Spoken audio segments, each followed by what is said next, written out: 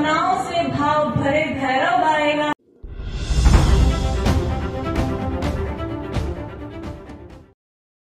Delhi road स्थित वैदिक आश्रम में महर्षि दयानंद का 200वां जन्मोत्सव धूमधाम से मनाया गया। इस मौके पर मुख्य वक्ता गुरुकुल वृंदावन के मुख्य अधिष्ठाता स्वामी स्वदेश, स्वामी जीवानंद न्याष्ठिक, सत्यवत गुरुकुल घासेड़ा देशराज प्रधान आर्य समाज नई सब्ज़ी मंडी रेवाड़ी, महर्षि जसवंत सिंह उर्षा आर्या महर्षि यशवंत धारुहेड़ा महर्षि सुंदरलाल सिरयानी समेत अन्य वक्ताओं ने स्वामी दयानंद की सेवाओं और शिक्षाओं की जानकारी दी। इस मौके पर सभी वक्ताओं ने भारतवर्ष के आर्य राष्ट्र बनाने की अपील भी की। महामंत्रणा साधेगा, एक सूत्र में बिखरे हुए मोतियों को बांधेगा, एक सूत्र में बिखरे हुए मोतियों को बांधेगा।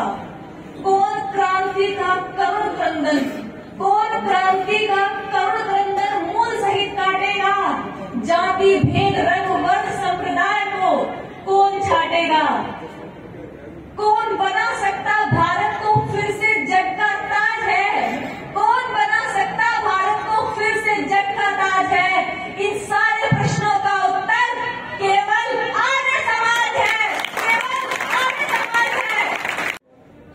सुचेतानंद जी ने मशी राम की लिखी हुई आर्या विभिनय का पद्यानुवाद किया।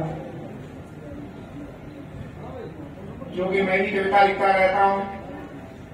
तो उन्होंने सोचा कि आचार्य जी से जाकर के इसे ठीक करवा लूँ। कहीं छंदों में त्रुटि तो नहीं रही। तो मेरे पास आई। कहा, आचार्य जी, देख लेना आप, फिर मैं इसको छपवाता हूँ। मैंने पूरी पुस्तक देखी। उसके बाद स्वामी जी आए। आचार्य, इसमें कोई कमी हो? गई और तो सब ठीक है, एक भारी कमी।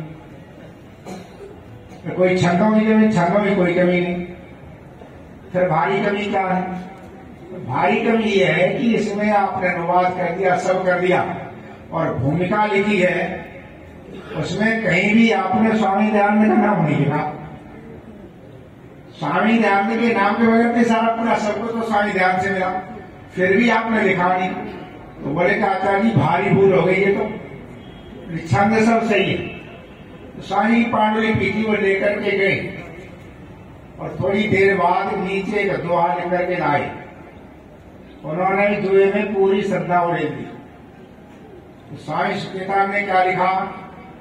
एक दोहे में, कि जो दोनों मिलते नहीं, जो दोनों मिलते नहीं, दया और आनंद मैं जसवंत कुमार, आर्य मंत्री, वेद प्रचार मंडल, जिला रेवाड़ी।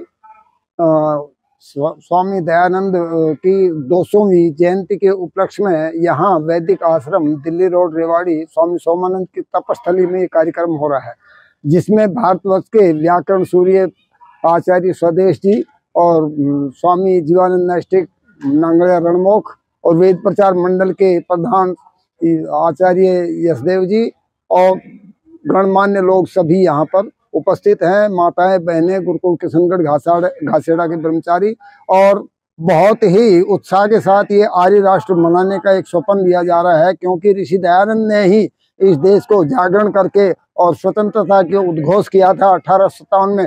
तभी से जागृति आई है।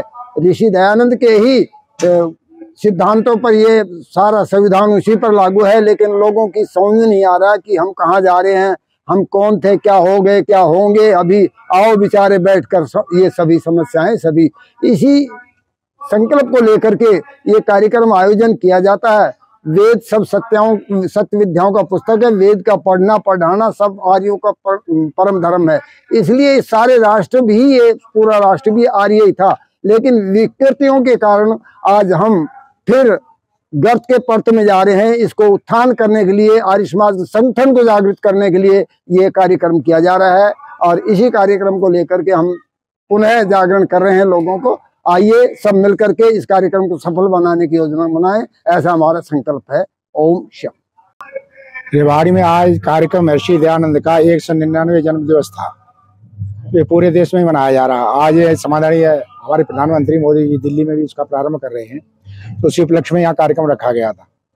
तो कार्यक्रम का मुख्य उद्देश्य यही है कि महर्षि दयानंद के उपकार उनको याद करना और जो उन्होंने संसार के उपकार के लिए दिशा दी है, पवित्र वेदों के प्रचार प्रसार के लिए जो दिया है, वो किस प्रकार से आगे बढ़े, वो उद्देश्य कैसे पूरा हो जैसे सारे संसार में सुख शांति हो और पूरे संसार का कल्याण हो, जैसा कि उनके, उन्होंने उनकी भावनाएँ थी। तो उस विषय में आज सभा हुई, यज्ञ के साथ में, संगोष्ठी भी उसी विषय में कार्यक्रम का उद्देश्य तो यह है कि महर्षि दयानंद का जन्मदिवस है ना उस पर हम लोग विशेष प्रेरणा लेकर के, जो महर्षि दयानंद ने हमें निर्देशा निर्देश दिए हैं उनका तो सीधा सीधा मानना था, वो कोई जाति और देश से बने हुए थे नहीं। उनका संसार का उपकार करना समाज का मुख्य उद्देश्य है। तो संसार के उपकार के लिए क्या क्या चीज़ें चाहिए कौन कौन से रास्ते ऋषियों ने बताए, कौन रास्ते वेदों ने बताए? वेद ईश्वर की वाणी उससे बढ़िया कोई रास्ता बताता नहीं। तो वो तो वेद विद्या का प्रचार प्रसार संसार में कैसे हो? कैसे लोग इससे जुड़े आ करके, जिससे संकीर्णता हमारी दूर हो, और वो दृष्टिकोण हो, जो भारत का रहा है वसुदेव कुटुंबकम का, वो फिर हो और फिर हम उदार हों, जिससे हम अपने घर परिवार, संसार को स्वर्ग बना सकें। आर्य राष्ट्र का मतलब होता है श्रेष्ठ देश, श्रेष्ठ राष्ट्र। और श्रेष्ठ राष्ट्र तो हर एक अपने को बनाना चाहेगा, कोई हम ही थोड़ी बनाना चाहेगा। संसार का कोई भी देश है, कोई भी राष्ट्र है तो सब सब चाहेंगे कि हमारे बने। आर्य का मतलब ये श्रेष्ठ होता। हमारा देश, हमारा राष्ट्र श्रेष्ठ हो, यही सबकी भावना होती है। वही हमारी भावना है कि हमारा देश, हमारा राष्ट्र, आर्य राष्ट्र बने। पूरा संबंध तब तक नहीं हो सकता है, तब तक जनमानस स्वयं गाय रखने के लिए तैयार नहीं होगा। जब तक हम गाय के महत्व को अपने हृदय में नहीं रखेंगे, अपने परिवार और उसके लिए क्या कल्याण गाय के उससे होता है, क्या नहीं, जब तक ये नहीं होगा मतलब व्यक्ति स्वयं तैयार नहीं होगा, तब तक गोरक्षण नहीं हो सकता। सरकार से कितना कर लेंगे, कहाँ तक हो जाता, क्योंकि तो गाय जो पाली जाती, उसे खोलता कौन है? हमारी दरवाजे से जाती और तभी घूमती बेचारी, काटी जाती, हो जाती। तो जब तक उसका महत्व हमारे हृदय में नहीं होगा और हम उसे स्वीकार करेंगे करेंगे नहीं, तब तक वो संवर्धन हो नहीं सकता। वो संवर्धन के साथ में हमारे अंदर ये भावना बैठा दी जाए या बैठा दी जाए है ही। कि गो गो संवर्धन के साथ में हमारे परिवार का भी संवर्धन इसी जुड़ा हुआ बिना गो के गुप्ती जी ने कभी लिखा था ना, जो ये हरियाली वो भी न रहने पाएगी, फिर भारतमयी मरघटमयी बन- भारत वो मरघटमयी बन जाएगी। यदि गोवंश न बचा, ये फिर फिर शमशान बन जाएगा। तो रास्ता चाहिए था, भारत जैसे देश में जो हमेशा गाय का पुजारी रहा है, जहाँ के ऋषि महर्षियों के हमेशा गाय वो रहा है, वहाँ यदि राष्ट्रपति हुआ फिर कब होगा? ये तो बहुत पहले हो जाना चाहिए था। ये तो दुर्भाग्य देश का ये नहीं हो पाया।